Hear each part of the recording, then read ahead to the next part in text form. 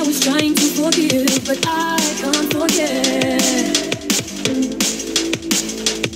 Cause you lied to me, burn in the flames of your.